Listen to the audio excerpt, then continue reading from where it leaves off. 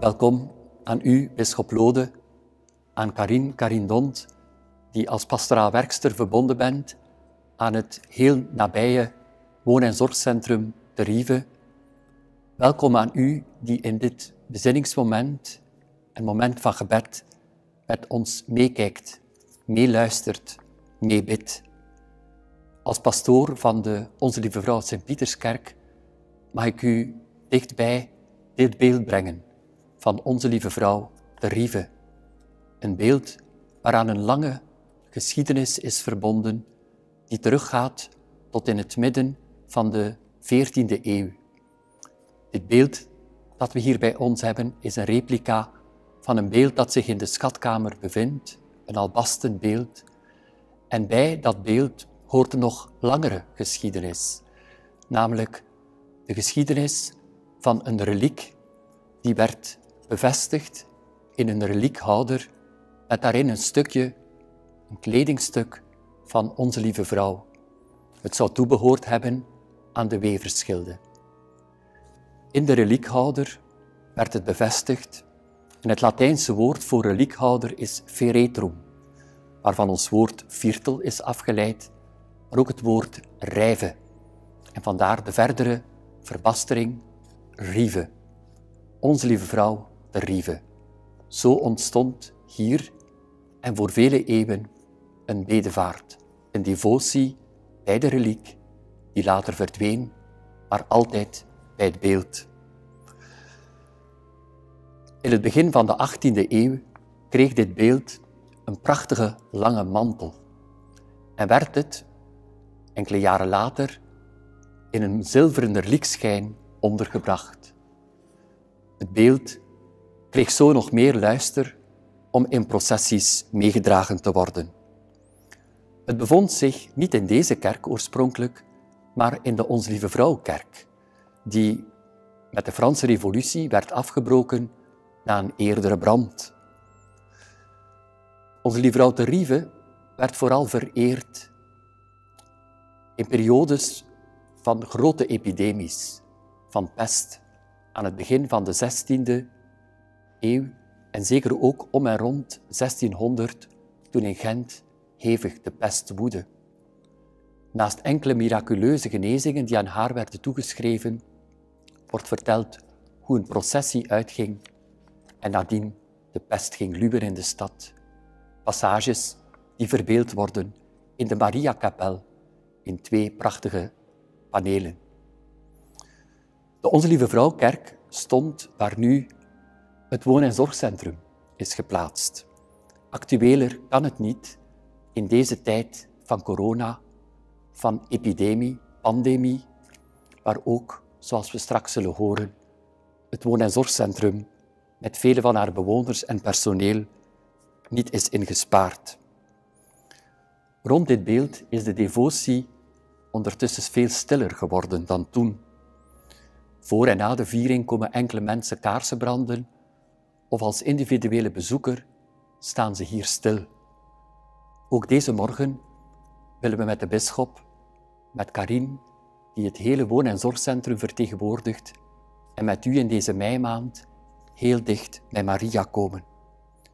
Wees gegroet, zeggen we doorheen dit beeld aan Maria in groot vertrouwen op haar bescherming, haar nabijheid. Wees gegroet aan u die meebidt in dit moment. De laatste twee maanden zullen voor altijd op mijn netvlies gebrand staan. Plots was er een virus. Of wij moesten er toch voor zorgen dat het virus niet overal kon komen. Maar het was ons voor. Nog voor de lockdown was het binnen in ons woonzorgcentrum, hier vlakbij.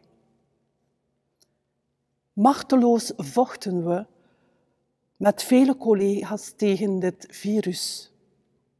Het liep ons voor. Plots werden we heel sterk geconfronteerd met eindigheid. We hadden beschermmateriaal tekort. Het was een ongelijke strijd tegen een onzichtbare.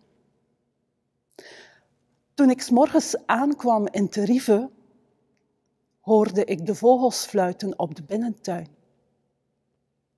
Daar hou ik heel veel van.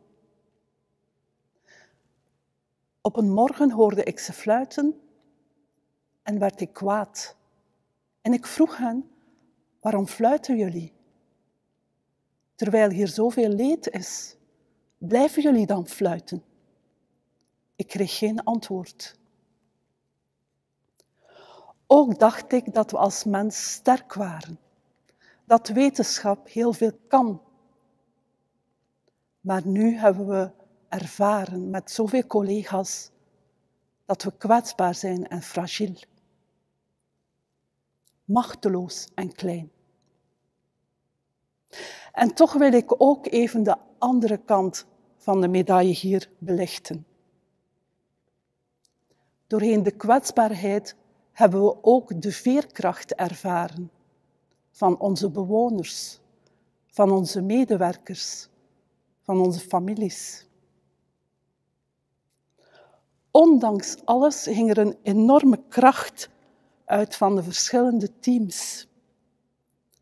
En we kregen bijzonder veel steun van families, van onze eigen familie, maar ook van onbekenden.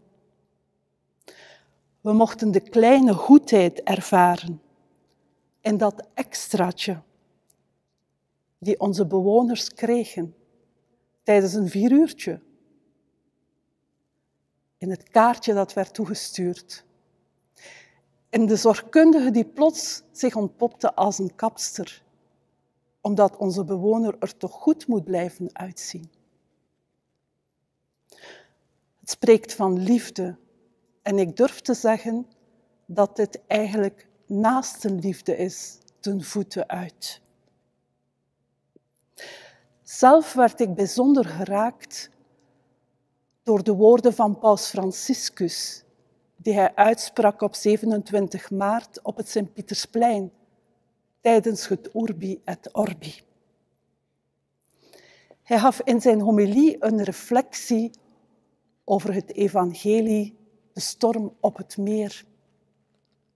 Hij zei dat we allemaal in hetzelfde bootje zitten. Machteloos, broos, gedesoriënteerd. Maar hij zei er ook bij, tegelijk zijn we allemaal belangrijk en noodzakelijk. Samen moeten we ervoor gaan. We kunnen het niet alleen. Het gaf me moed en steun om verder te gaan. Om verder met de medewerkers en met de bewoners na te denken, wat is nu het leven? Waar is God nu? Om trouwe bondgenoot te zijn voor elkaar. Om er te zijn, toekoer. Onze lieve vrouw Terive, het Mariabeeld hier, en ook de naam van ons woonzorgcentrum. Hier 50 meter vandaan. Een belangrijk gegeven voor ons. Jaarlijks komen we hier met onze bewoners op bedevaart. We brengen bloemen mee. We branden kaarsjes. We bidden. We danken. We vragen.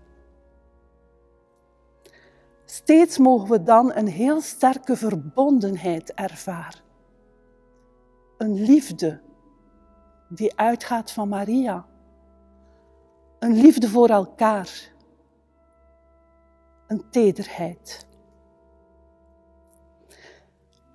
Dit jaar konden we er niet zijn, omwille van coronavirus.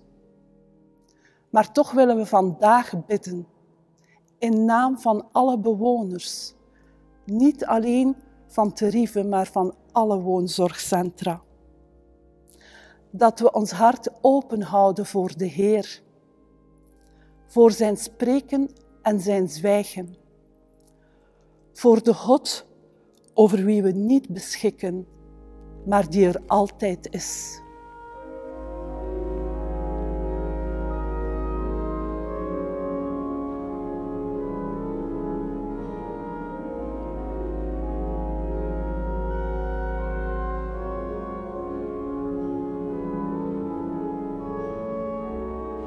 Velen van ons voelen zich in deze dagen machteloos. Het leven, het onze en dat van onze geliefden, lijkt zo kwetsbaar. Bijna niets. We vechten tegen een virus, maar met ongelijke wapens en met te weinig middelen. Ook Maria weet wat het betekent niet op te kunnen tegen overmacht. Ze zag haar zoon ten onder gaan en kon niets doen, tenzij aanwezig zijn. Een moeder die haar kind niet verlaat. Onze wetenschappers en zorgverleners kunnen veel. We zijn zo dankbaar voor hun inzet en hun onvermoeide strijd. Sommigen zijn eraan ten onder gegaan. Anderen geven niet op en verliezen nooit de moed. Onze politici doen wat ze kunnen om de situatie te beheren. Maar niemand kan alles. En in sommige gevallen heel weinig. Of niets. Maria leefde daar waar ze was. Ze leefde haar realiteit. Zeg maar eenvoudigweg haar leven. Het leven zoals het haar gegeven was. Ze moest veel dromen loslaten. Ze liet zichzelf los om open te blijven en aandachtig haar zoon te volgen, te beschouwen in het geloof dat ze in hem Gods liefde werkzaam zag.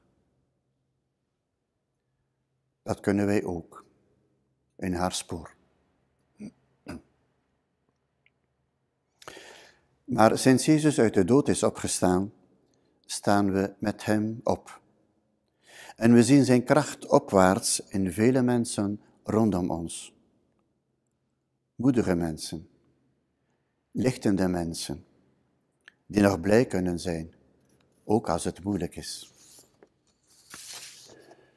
Ze zijn als een zon die iets van God afstraalt, iets van de Vader die liefde is, iets van de Zoon die gegeven is, iets van de, Geest die leven geeft.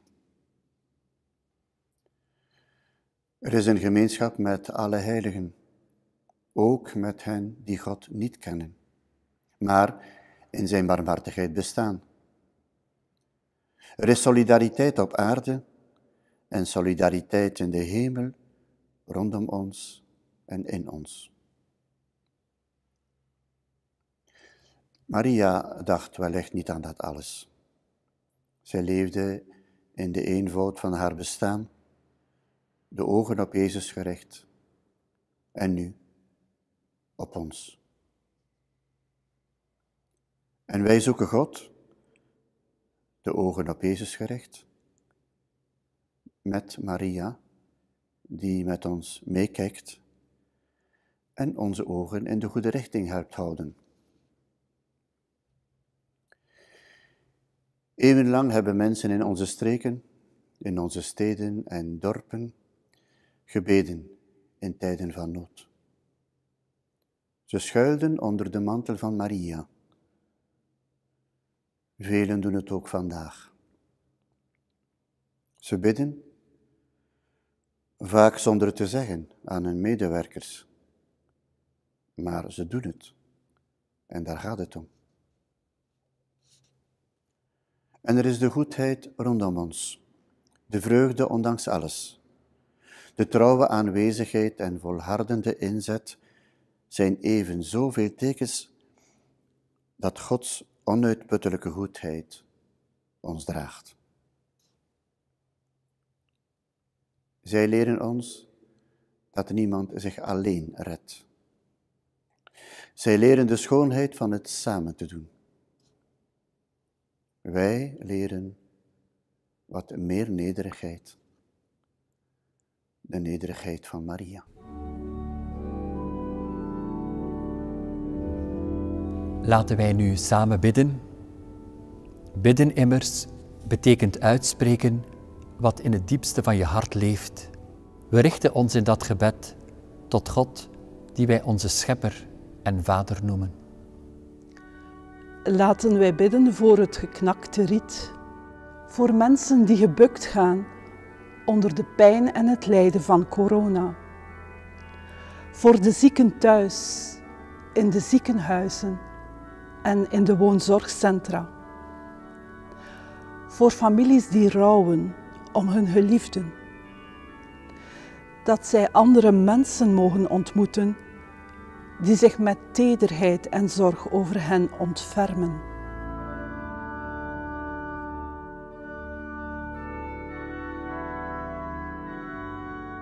Laten wij bidden voor de uitovende vlam. Voor mensen die geloof en hoop verliezen. Voor eenzamen, voor daklozen. Dat ze andere mensen mogen ontmoeten bij wie ze opnieuw levenskracht vinden.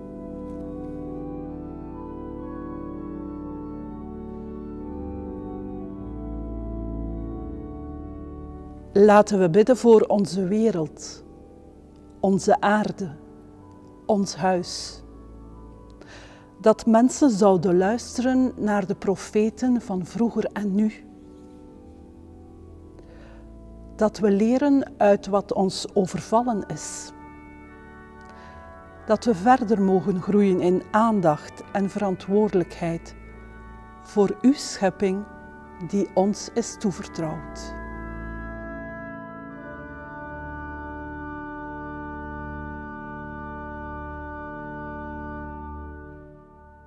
Altijd aanwezige God, wees aanwezig in onze kwetsbaarheid.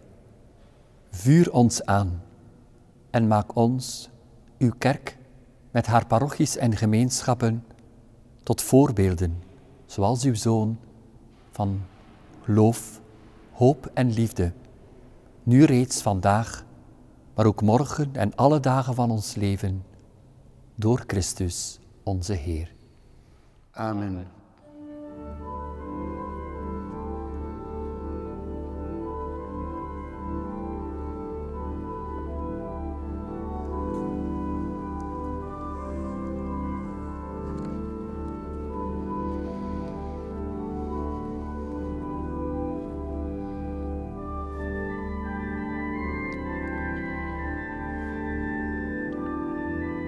God van alle leven, van oudsher hebt Gij uw volk redding gebracht. Gij hebt ons geleerd dat wij niets hoeven te vrezen. Geen ziekte die sluipt in de duisternis, geen kwaal in een gloeiende koorts, geen nachtelijk onheil. Wij leven in de schaduw van uw licht onder uw vleugels. Gij vervult onze levensdagen waarvan we de duur niet kennen. Wij verstaan niet steeds wat er gaande is, maar we roepen U aan. Dat is ons geloof. De storm maakt ons wakker uit onze verdoving. De storm doet ons zoeken naar de echte reddingsboei. Ons geloof is als een anker. Goede Vader, zie ons hier samen in dezelfde boot op een zwalpende zee. Maar niet alleen. Jezus is met ons. En zelfs Maria met haar stille, sterke kracht. God onze Vader, Maria noemde u mijn verlosser. Wondere dingen deed gij aan haar Barmhartigheid hebt gij getoond tot in lengte van dagen. Samen met haar en met Jezus, uw Zoon, vragen wij u, toon ook vandaag uw verlossende kracht en uw barmhartigheid aan al uw kinderen, gij die leeft in eeuwigheid. Amen.